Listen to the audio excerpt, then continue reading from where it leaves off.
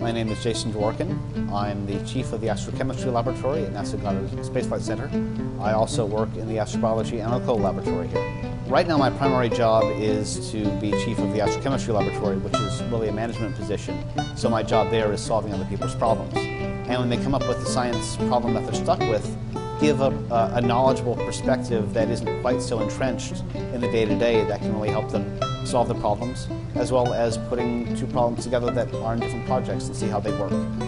Uh, when I'm not doing that, I'm actually uh, working in, uh, in this laboratory, the astrochemistry laboratory, uh, where we're studying organic compounds from uh, extraterrestrial samples, from um, simulations of extraterrestrial samples, and from uh, Earth analogs of extraterrestrial environments. The most exciting part about what I do at work are, um, are really two things. And partly it's, or mostly, it's the people I work with particularly the people in, in this laboratory, analytical laboratory, are just tremendously talented, motivated, interesting people.